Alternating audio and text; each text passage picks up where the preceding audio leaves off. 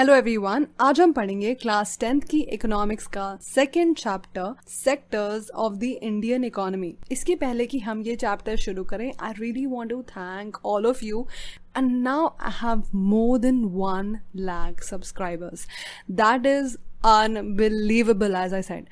So without further ado, let's get started क्योंकि मैंने बहुत दिनों से वीडियो अपलोड नहीं किया and I am really sorry okay let's get started तो किसी भी इकोनॉमी में कुछ प्रोड्यूसर्स होते हैं जो चीज़ें बनाते हैं और कुछ कंज्यूमर्स होते हैं जो चीज़ें खरीदते हैं प्रोड्यूसर से और उनको यूज़ करते हैं। और इकोनॉमी में गवर्नमेंट भी होती है जो देखती है कि ये सब जो चीज़ें हैं वो सही से चल रही हैं या नहीं। तो जब हम इंडियन इकोनॉमी की बात करते हैं तो हम यही चीज़ें इंडिया के संदर्भ में देखते हैं कि इंडिया में कितना प्रोडक्शन हुआ है, कितना कंजम्पशन हुआ है और गवर्नमेंट ने क्या क्या स्टेप्स लिए हैं प्रोडक्शन या फिर कंजम्पशन को बढ़ाने के लिए। तो आज हम जिस इकोनॉमिक एक्टिविटी की बात करेंगे वो है प्रोडक्शन प्रोडक्शन को और अच्छे से समझने के लिए हम प्रोडक्शन को सेक्टर्स में डिवाइड करेंगे। और ये सेक्टर भी हम कई तरह से बांट सकते हैं। सबसे पहले हम सेक्टर को इस बेसिस पे बांटेंगे कि किस तरह की चीज़ें प्रोड्यूस हो रही हैं। इसमें हमें तीन तरह के सेक्टर दिखेंगे प्राइमरी सेकेंडरी और टर्शरी सेक्टर और दूसरा हम सेक्टर को डिवाइड करेंगे इस बेसिस पे कि जो वर्कर्स हमें चाहिए कोई भी सामान प्रोड्यूस करने के लिए, वो किस तरीके से एम्प्लॉयड है। इनमें हमें दो तरह के सेक्टर मिलते हैं ऑर्गेनाइज और अनऑर्गेनाइज ऑर्गेनाइज्ड सेक्टर और जो तीसरा हम डिविजन करेंगे सेक्टर्स का, वो इस बेसिस पे करेंगे कि जो प्रोडक्शन हो रहा है, वो ओन कौन करता है? इसमें होते हैं पब्लिक सेक्टर और प्राइवेट सेक्टर तो अभी ये बहुत कॉम्प्लिकेटेड सा लग रहा होगा आपको बट हम एक एक करके इन सब चीज़ों के बारे में पढ़ेंगे and trust me it's really easy तो सबसे पहले हम देखेंगे कि किस तरह की इकोनॉमिक एक्टिविटी हो रही है। जब कोई भी चीज़ प्रोड्यूस करने के लिए प्रोड्यूसर्स डायरेक्टली नेचर पे डिपेंडेंट होते हैं तो वो जो प्रोडक्शन होता है, वो प्राइमरी प्रोडक्शन में आता है। जैसे अगर आपको कोई चीज़ उगाना है, जैसे शुगर केन कॉटन या फिर अगर कोई मिनरल लेना है आपको अर्थ से, या फिर आप एनिमल के प्रोडक्ट्स बेचते हैं तो ये सब चीज़ें हमें डायरेक्टली नेचर से मिलती हैं। तो ये सारे जो काम हैं, ये प्राइमरी सेक्टर में आते हैं। इस सेक्टर को हम एग्रीकल्चर एंड रिलेटेड सेक्टर भी कहते हैं। जब हम इन नेचुरल प्रोडक्ट को चेंज करके उसको अलग फॉर्म में कन्वर्ट करते हैं जैसे कॉटन लेके हमने उससे कॉटन की शर्ट बना ली। या फिर हम लोग ने टमाटर का केचप बना लिया। या फिर आलू का चिप्स बना तो ये प्राइमरी प्रोडक्ट्स को चेंज करके अलग बना देते हैं। तो सेकेंडरी सेक्टर में बेसिकली आपकी इंडस्ट्रीज़ इन्वॉल्व होती इसलिए सेकेंडरी सेक्टर को इंडस्ट्रियल सेक्टर भी कहते हैं। प्राइमरी और सेकेंडरी सेक्टर के बाद बारी आती है टर्शरी सेक्टर की। ये वो एक्टिविटी है जो प्राइमरी और सेकेंडरी सेक्टर को डेवलप डेवलप करने में हेल्प करती हैं। जैसे जो भी प्राइमरी सेक्टर में या सेकेंडरी सेक्टर में जो प्रोड्यूस हुआ है, ये अपने आप तो कंज्यूमर्स के पास पहुँच नहीं जाएगा। आपको कुछ ट्रांसपोर्ट की व्यवस्था करनी पड़ेगी, तभी ये कंज्यूमर्स के पास जाएगा। तो ये जो ट्रांसपोर्टेशन सेक्टर होता है, ये सर्विस सेक्टर में आता है। तो अब ये जो ट्रांसपोर्ट करके आएगा सामान अलग अलग जगह पे तो ये बेचेगा कौन? तो जो आपके शॉपकीपर्स होते हैं, ये भी सर्विस सेक्टर का ही पार्ट है। या फिर कभी कभी चीज़ों को गोडाउन में रखते हैं, ये भी सर्विस सेक्टर में आता है। इसके अलावा और कई चीज़ों की ज़रूरत होती है हमें, जैसे कम्युनिकेशन या हमें बैंक की भी ज़रूरत होती है। तो ये सब चीज़ें हमारी टर्शरी एक्टिविटीज़ में आती हैं, क्योंकि ये सेक्टर में हम गुड्स नहीं, बल्कि सर्विसेज़ ऑफ़र करते हैं। इसलिए इस सेक्टर को हम सर्विस सेक्टर भी कहते हैं। तो भले ही हमने इन सब इकोनॉमिक एक्टिविटीज़ को अलग अलग सेक्टर्स में बांटा हुआ है बट ये तीनों बहुत ही ज़्यादा इंटरकनेक्टेड है। तो ये तीनों सेक्टर्स में ढेर सारे गुड्स और सर्विसेज़ प्रोड्यूस होते हैं। और इन तीनों में ही कंट्री के बहुत सारे लोग काम करते हैं। तो ये कैसे जानोगे कि कंट्री में कितना प्रोडक्शन हुआ है? पहले तो लोगों ने जो प्राइमरी सेकेंडरी टर्शरी सेक्टर किया है, इसको देखते ही हम लोग बोल सकते हैं कि चलो प्राइमरी में सब्ज़ियाँ और सब चीज़ें देखोगे मैन्युफैक्चरिंग में देखेंगे कि कितना ओवरऑल इंडस्ट्रीज़ ने प्रोड्यूस किया है सर्विसेज़ में देखेंगे, कितने सारे लोगों ने अपनी सर्विसेज़ प्रोवाइड करके कितना पैसा बनाया है। तो एड कैसे करेंगे? ये तो बहुत ही ज़्यादा कॉम्प्लिकेटेड हो जाना है। तो ऐसे में इकोनॉमिस्ट ये नहीं देखते कि कितना प्रोडक्शन हुआ है, बल्कि ये देखते हैं जितना प्रोडक्शन हुआ है, उन सब गुड्स और सर्विसेज़ की वैल्यू कितनी है। जैसे अगर 10 क्विंटल शुगर केन हमने साल भर में प्रोड्यूस किया तो हम उसको ऐसा नहीं लिखेंगे कि 10 क्विंटल प्रोडक्शन हुआ, बल्कि हम ये देखेंगे एक क्विंटल की वैल्यू कितनी है सपोज़ चार हज़ार रूपए। तो दस क्विंटल की वैल्यू कितनी होगी? चालीस हज़ार रुपए। तो हमारे यहाँ टोटल प्रोडक्शन कितना हुआ? चालीस हज़ार रुपए। सेम ऐसे ही तरीके से देखेंगे कि कितनी वैल्यू का सामान प्रोड्यूस किया है इस पर्टिकुलर सेक्टर ने। बट एज अ कैच तो हम जो प्रोडक्शन की वैल्यू देखेंगे, इसमें हम सबकी वैल्यू नहीं काउंट करेंगे। हम सिर्फ़ final goods and services value add add करेंगे। Let's know the difference between final goods and intermediate goods जैसे एग्ज़ाम्पल लेते हैं, एक फार्मर का, जिसने अपने गेहूँ को बेचना है तो उसने क्या किया कि उसने दस किलो बेचा अपने पड़ोसी को और सौ किलो बेचा उसने एक फ्लावर मिल्क को आठ रुपए पर किलो के हिसाब से। तो ये तो सीधा कंज्यूमर ने खाया। पर ये जो फ्लावर मिल के पास जा रहा है, क्या ये कंज्यूमर खा रहा है? नहीं, ये तो फ्लावर मिल के पास जा रहा है, वो फ्लावर मिल वाला क्या करेगा? लेट्स ये क्या करता है। सपोज़ ये फ्लावर मिल वाले ने सौ किलो का जो गेहूँ लिया, उसने उसको पीस दिया और फिर अब उसने उसको दस रुपए पर किलोग्राम के हिसाब से कोई बिस्किट की कंपनी को बेच दिया। तो अब यहाँ पे भी वो कंज्यूमर के पास नहीं गया आटा। वो तो कंपनी के पास गया। अब ये जो बिस्किट वाली कंपनी है, उसने उस आटे में और चीज़ें ऐड करके बिस्किट्स बना दिए। फिर ये जो बिस्किट होंगे, ये मार्केट में जाएँगे और फिर इसको कंज्यूमर्स खरीदेंगे, है ना? तो तो जो भी कंज्यूमर्स खाने के लिए आप यूज़ करने के लिए खरीदते हैं that comes under final good but जो भी चीज़ें प्रोड्यूसर खरीदते हैं, वो होता है इंटरमीडिएट गुड्स तो ये तो समझ में आ गया कि फाइनल गुड ऐड करेंगे इंटरमीडिएट गुड नहीं ऐड करेंगे. बट ऐसा क्यों है कि इंटरमीडिएट ऐड नहीं कर रहे हैं? ऐसा इसलिए क्योंकि ये कॉस्ट ऑलरेडी इंक्लूडेड है उस बिस्किट में। तो ये देखने के लिए कि कंट्री में कितना प्रोडक्शन हुआ है, इसमें हमें सिर्फ़ फाइनल गुड्स और सर्विसेज़ की वैल्यू ऐड करनी है इंटरमीडिएट की नहीं। तो कितना final goods and services produce हुए कंट्री में, हम ये ऐड करते हैं तो हमें मिलता है कंट्री का टोटल प्रोडक्शन जो कि एक तरह से आप कह सकते हो कि हमारा जीडीपी क्रॉस डोमेस्टिक प्रोडक्ट होता है। जो हमारी कंट्री में एक साल में कितना प्रोडक्शन हुआ है फाइनल गुड्स एंड सर्विसेज़ का, ये होता है हमारा जीडीपी तो अगर जीडीपी ज़्यादा होगा मतलब कि ज़्यादा चीज़ें बन रही है हमारी इकोनॉमी में तो जीडीपी कम होगा मतलब हमारे यहाँ प्रोडक्शन थोड़ा कम हो गया है। तो वर्ल्ड में सबसे ज़्यादा जीडीपी पता है किसका है? यूएसए का। इंडिया में जीडीपी के मेज़रमेंट सेंट्रल गवर्नमेंट की मिनिस्ट्री करती है हिस्टोरिकल चेंजेस इन सेक्टर किसी भी कंट्री में जब डेवलपमेंट का प्रोसेस स्टार्ट होता है तो वहाँ स्टार्टिंग के टाइम में इकोनॉमी का सबसे इम्पोर्टेंट सेक्टर होता है प्राइमरी सेक्टर यानी ज़्यादा लोग उस टाइम एग्रीकल्चर पे डिपेंडेंट होते हैं. बहुत टाइम बाद इंडस्ट्रियल रेवोल्यूशन के टाइम पे जब मैन्युफैक्चरिंग के अलग अलग तरीके आने लगे इंडस्ट्रीज़ बढ़ने लगी, तब क्या हुआ कि जो लोग पहले फार्म्स में काम करते थे, वो अब फैक्ट्री में काम करने लगे. फिर धीरे धीरे सेकेंडरी सेक्टर ज़्यादा इंपॉर्टेंट बन गया और यही सबसे ज़्यादा प्रोडक्शन करने लगा. इसमें ही सबसे ज़्यादा लोग काम करने लगे. मतलब हमें एक शिफ्ट देखने को मिलता है जिसमें लोग प्राइमरी से से सेकेंडरी सेक्टर में काम करने लगे। और अब लास्ट हंड्रेड ईयर्स में हमें शिफ्ट देखने को मिल रहा है सेकेंडरी सेक्टर से टर्शरी सेक्टर में। अब सर्विस सेक्टर में सबसे ज़्यादा प्रोडक्शन होता है और सबसे ज़्यादा लोग सर्विस सेक्टर में काम करते हैं। ऐसा हमें देखने को मिलता है डेवलप्ड कंट्रीज़ में।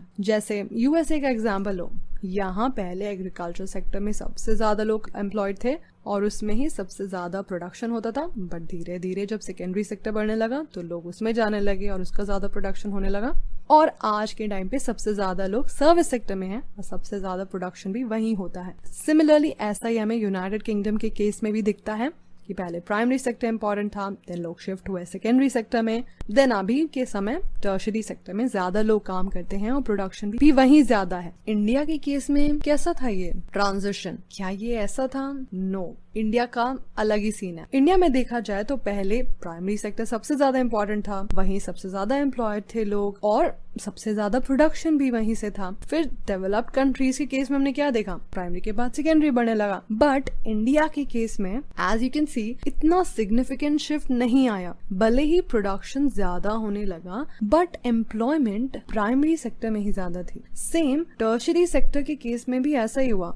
आउटपुट तो बढ़ा बट एम्प्लॉयमेंट में ज़्यादा फ़र्क नहीं आया। तो इंडिया के केस में अभी भी हमारे यहाँ लोग जो काम करते हैं प्राइमरी सेक्टर में ज़्यादा है एज कंपेयर टू और जगह। तो लोग तो ज़्यादा प्राइमरी सेक्टर में काम करते हैं। बट वहाँ का प्रोडक्शन इतना कम क्यों है? और टर्शरी सेक्टर में प्रोडक्शन तो ज़्यादा है बट लोग इतना कम क्यों है? ओके okay, कंपेयर करते हैं 1970 के इंडिया को और 2019 के इंडिया को। जीडीपी की बात करें तो इंडिया का जीडीपी काफ़ी ज़्यादा हो गया है पहले से। इसको सेक्टर्स में बांटे। तो एज वी कैन सी चाहे वो प्राइमरी सेकेंडरी और टर्शरी हो सभी सेक्टर्स में 1970 के कंपैरिजन में प्रोडक्शन बढ़ा है बट सबसे ज़्यादा प्रोडक्शन सर्विस सेक्टर या टर्शरी सेक्टर में हुआ है। ऐसा क्यों है कि टर्शरी सेक्टर इतना ज़्यादा आउटपुट दे रहा है? Rising importance of tertiary sector tertiary sector इतना इम्पोर्टेंट हो रहा है, ऐसा होने के बहुत सारे रीजन हैं। नंबर वन जैसे जैसे कंट्री डेवलप होती है,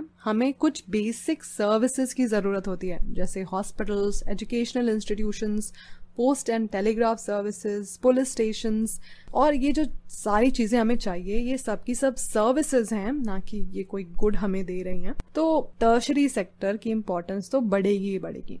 सेकेंड जब एग्रीकल्चर यानी प्राइमरी सेक्टर और इंडस्ट्री यानी सेकेंडरी सेक्टर ये दोनों का प्रोडक्शन बढ़ेगा तो टर्शरी सेक्टर तो बढ़ेगा ही। थर्ड जैसे जैसे लोगों की इनकम बढ़ती है, उनके पास ज़्यादा पैसे आते हैं तो वो कई तरह की सर्विसेज़ डिमांड करने लगते हैं, जैसे बाहर जाके खाना टूरिज़्म शॉपिंग और भी कई सारी चीज़ें। फोर्थ एक दो दशक से देखा जाए तो नई नई सर्विसेज़ की शुरुआत हुई है, जो कि इंफॉर्मेशन एंड कम्युनिकेशन टेक्नोलॉजी पे बेस्ड है। अब इन सर्विसेज़ का भी इम्पोर्टेंस बढ़ रहा है, जिसकी वजह से इन सब पे बेस्ड सर्विसेज़ भी बढ़ रही हैं। टर्शरी सेक्टर में आउटपुट बहुत ज़्यादा है बट एम्प्लॉयमेंट इतना कम क्यों है? तो सर्विस सेक्टर में अलग अलग तरीके के लोग काम करते हैं। कुछ सर्विसेज़ के लिए हमें प्रोफेशनल्स चाहिए होते हैं, कुछ के लिए हमें नॉर्मल लेबर चाहिए होते हैं। तो ऐसे में सर्विस सेक्टर में ओवरऑल ग्रोथ नहीं हो रही है। सिर्फ़ कुछ चीज़ें ग्रो हो रही हैं। ज़्यादा लोग जो सर्विस सेक्टर में काम करते हैं, उनको इतना अच्छा इनकम नहीं मिलता है। तो ये सब लोग ये काम करते हैं क्योंकि उनके पास इसके अलावा और कोई बेटर ऑप्शन ही नहीं है। तो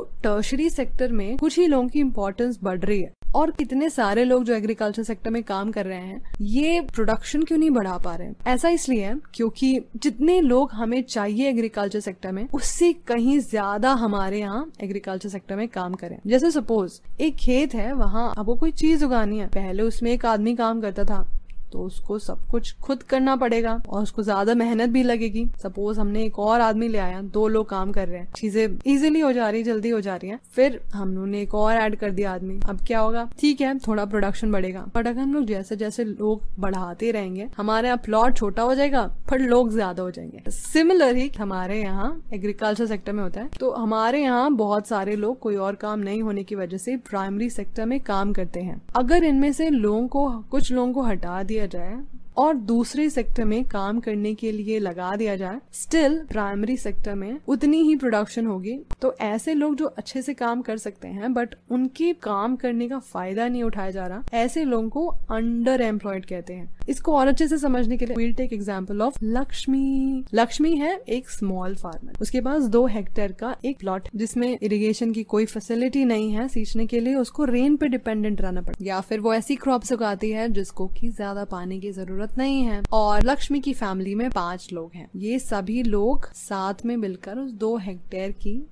लैंड पे काम करते हैं। तो कोई घर पे बैठा नहीं रहता, सब जाते हैं खेत पे काम करने। बट जो काम एक अकेला आदमी आराम से कर सकता था, अब यहाँ पे वही काम दो तीन लोग साथ में मिलके कर रहे हैं। यानी कि यहाँ पे लेबर एफर्ट डिवाइड हो रहा है। तो काम सब कर रहे हैं बट कोई फुली एम्प्लॉयड नहीं है। कि मतलब जितना वो कर सकते थे, उससे थोड़ा कम काम कर रहे हैं। तो ये सिचुएशन है अंडर एम्प्लॉयमेंट की। तो ऐसे में सपोज़ कोई बड़ा फार्मर आ गया, जैसे सुखराम जी। सुखराम जी आते हैं, कहते हैं कि, लक्ष्मी, देखो, मेरे यहाँ फ़सल कटने वाली है। अपने दो फैमिली मेंबर्स को मेरे यहाँ भेज दो। वो मेरी फ़सल भी काट देंगे और मैं इन लोगों को थोड़ा पैसे दे दूँगा हेल्प करने के लिए. तो लक्ष्मी की यहाँ काम करने के लिए लोग कम हो गए। बट अब क्या है? लोगों को थोड़ा ज़्यादा काम करना पड़ेगा। और बाकी जो दो लोग सुखराम के यहाँ पे काम कर रहे हैं, उनकी वजह से at the end of the day Lakshmi के घर पे ज़्यादा पैसा आएगा। तो ये जो दो लोग थे, ये जब लक्ष्मी के यहाँ पे काम कर रहे थे ये थे अंडर एम्प्लॉयड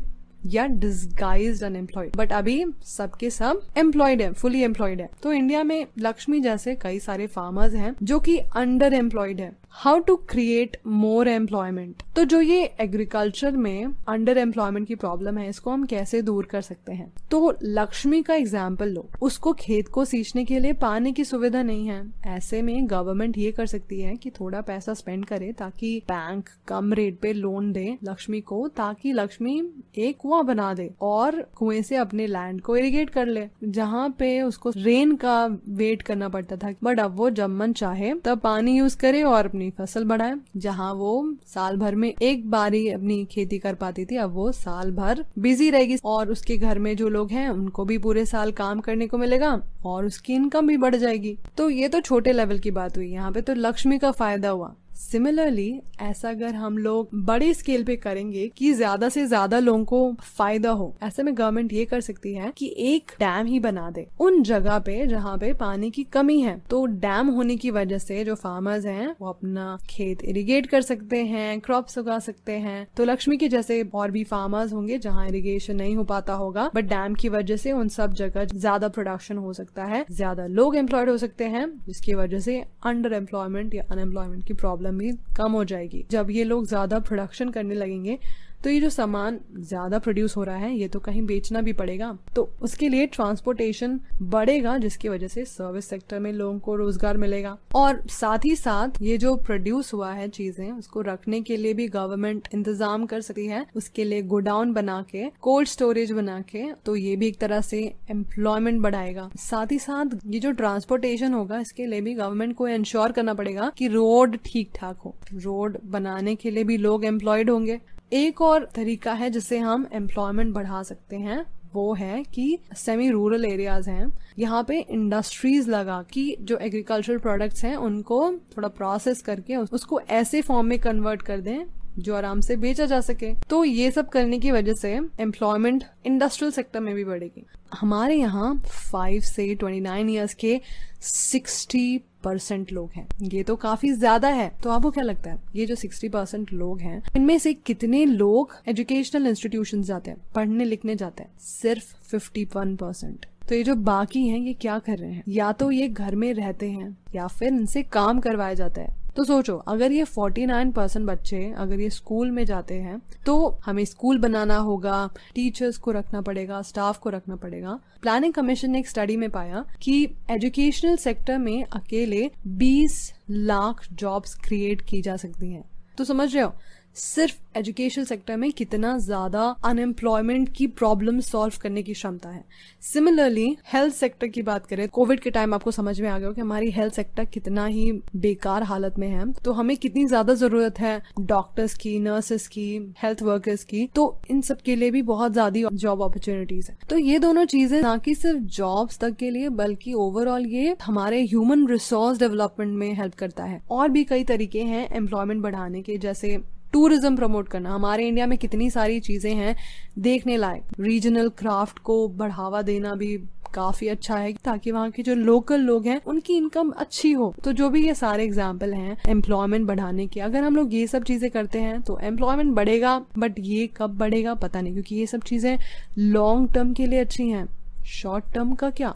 शॉर्ट टर्म में अगर अनएम्प्लॉयमेंट है तो अभी के लिए क्या कर सकते तो ये देखते हुए सेंट्रल गवर्नमेंट ने लॉ लाया मनरेगा 2005 में, जिसको कि Mahatma Gandhi National Rural Employment Guarantee Act कहते हैं। एज अ नेम सजेस्ट ये रूरल एरियाज़ के लिए है। इस एक्ट के अंदर लोगों को राइट टू वर्क मिला है, यानी हमें काम करने का अधिकार है। तो इस एक्ट में ये बोला गया कि हर घर से एक लोगों को काम दिया जाएगा। कितने दिन के लिए काम दिया जाएगा? सौ दिन के लिए। और काम क्या करना होगा? अनस्किल्ड काम, जिसमें कि कोई स्किल की ज़रूरत नहीं होती। और सपोज़ गवर्नमेंट काम नहीं दे पाती है, तब तब गवर्नमेंट उनको अनएम्प्लॉयमेंट अलाउंस देगी, काम नहीं कर पाए still you'll get some money तो मनरेगा की वजह से अभी के लिए जो रूरल पीपल में अनएम्प्लॉयमेंट की प्रॉब्लम है, वो थोड़ी सॉल्व हुई। अब हम बात करेंगे कैसे हम सेक्टर्स को बांटते हैं इस बेसिस पे कि लोग जहाँ काम करते हैं, वहाँ की कंडीशन कैसी है। तो इसके बेसिस पे सेक्टर्स दो तरह के होते हैं। ऑर्गेनाइज्ड सेक्टर और दूसरा होता है अनऑर्गेनाइज्ड सेक्टर इसको समझने के लिए हम दो लोगों का एग्ज़ाम्पल लेंगे। एक है कांता और दूसरे हैं कमल। पहले हम लोग बात करते हैं कांता जी की। कांता जी ऑफ़िस में काम करती हैं साढ़े नौ से साढ़े पाँच तक। उनको महीने के अंत में सैलरी मिलती है और सैलरी के साथ ही साथ उनको प्रोविडेंट फंड भी मिलता है। साथ ही साथ उनको कई सारे अलाउंस भी मिलते हैं और कांता जी की संडे को छुट्टी होती है। संडे की छुट्टी होने के बाद भी उनको संडे को भी पैसा मिलता है। जब उनको नौकरी मिली थी, तब उनको एक अपॉइंटमेंट लेटर मिला था, जिसमें उनके काम से रिलेटेड टर्म्स और कंडीशंस लिखे हुए थे। अब बात करते हैं कमल जी की। कमल जी कांता जी के पड़ोसी हैं। वो डेली वेज लेबरर हैं। वो पास के किराना स्टोर में काम करते हैं। वो सुबह सात बजे काम पे जाते हैं और रात के आठ बजे तक घर पे आ पाते हैं। तो वो जितना दिन काम करते हैं, उनको उतने ही दिन के रुपए मिलते हैं। संडे को छुट्टी ली तो संडे का पैसा नहीं मिलेगा। इसके अलावा उनको कोई और मदद या पैसा कुछ नहीं मिलता। सो उनके पास कोई पेड लीव या हॉलीडे नहीं होता। और जब उनको काम पे रखा गया था, उनको कोई लेटर नहीं दिया गया था। इसका मतलब जब दुकानदार चाहे, उनको काम से निकाल सकता है। तो ये दोनों काम तो कर रहे हैं। बट इनके काम करने की कंडीशन काफ़ी अलग है। कांता जी काम करती हैं ऑर्गेनाइज्ड सेक्टर में और कमल जी काम करते हैं अनऑर्गेनाइज्ड सेक्टर में। तो इन दोनों का डिफरेंस देखो। ऑर्गेनाइज्ड सेक्टर में जॉब की गारंटी है बट अनऑर्गेनाइज्ड सेक्टर में जॉब की कोई गारंटी नहीं है। आपको कभी भी जॉब से निकाला जा सकता है। जो भी गवर्नमेंट लॉज हैं ऑर्गेनाइज्ड सेक्टर में, ये सारे लॉ फॉलो किए जाते हैं। बट अनऑर्गेनाइज्ड सेक्टर में ये सारे लॉज फॉलो नहीं किए जाते। ऑर्गेनाइज्ड सेक्टर में एज अ नेम सजेस्ट एक ऑर्गेनाइज्ड वे में काम होता है रूल्स रेगुलेशंस सारे ध्यान दिए जाते हैं। बट अनऑर्गेनाइज्ड सेक्टर में बहुत सारे लोग काम करते हैं, जो कि बहुत छोटे लेवल पे काम करते हैं। इनको रेगुलेट करना बहुत ही ज़्यादा मुश्किल है। ऑर्गेनाइज्ड सेक्टर में कुछ फिक्स्ड घंटे काम करने होते हैं, और अगर लोग उस फिक्स्ड घंटे से ज़्यादा काम करते हैं तो उनको ओवर टाइम करने का अलग से पैसा मिलता है। बट अनऑर्गेनाइज सेक्टर में बहुत ही कम पैसों में काम करना पड़ता है। इसके साथ ही साथ ओवर टाइम का कोई पैसा नहीं मिलता। तो आपको क्या लगता है इंडिया में लगभग कितने लोग अनऑर्गेनाइज्ड सेक्टर में काम करता है। दिस इज़ शॉकिंग 90 परसेंट से ज़्यादा लोग हमारे यहाँ अनऑर्गेनाइज्ड सेक्टर में काम करते हैं। How to protect workers in the unorganised sector तो देखा जाए तो हम सब चाहेंगे कि हमें ऑर्गेनाइज सेक्टर में ही जॉब मिले। बट जॉब्स बहुत ही कम है। ऑर्गेनाइज सेक्टर में तो ना केवल अनऑर्गेनाइज सेक्टर में काम कर रहे लोगों की इनकम बढ़ाने की ज़रूरत है, बल्कि जॉब सिक्योरिटी भी होनी चाहिए। अनऑर्गेनाइज सेक्टर रूरल एरियाज़ में भी होता है और अर्बन एरियाज़ में भी होता है। रूरल एरियाज़ में हमें दिखेंगे landless agriculture labourers small and marginal farmers sharecroppers artisans government इनको हेल्प करने के लिए ये चीज़ कर सकती है कि इनको टाइम पे खेती के लिए चीज़ें उपलब्ध करा दे, जैसे सीड्स इनपुट्स क्रेडिट दे स्टोरेज फैसिलिटी दे मार्केटिंग फैसिलिटी दे तो इन सब के लिए बेटर होगा। अर्बन एरियाज़ में अनऑर्गेनाइज सेक्टर में आते हैं वर्कर्स जो कि स्मॉल स्केल इंडस्ट्री में काम करते हैं। कंस्ट्रक्शन में जो कैजुअल वर्कर्स होते हैं ट्रेड और ट्रांसपोर्ट में जो लोग इन्वॉल्व होते हैं, जो स्ट्रीट वेंडर्स होते हैं, इन लोगों के लिए गवर्नमेंट ये कर सकती है कि जो चीज़ उनको चाहिए वो उनको उपलब्ध कराए। काम का इनको सही दाम मिले और जो भी ये चीज़ कर रहे हैं, इसमें इनको ज़्यादा परेशानी नहीं हो, ये भी देखनी चाहिए। अनऑर्गेनाइज सेक्टर देखा जाए, हमारी इकोनॉमी का बहुत ही ज़्यादा इंपॉर्टेंट पार्ट है।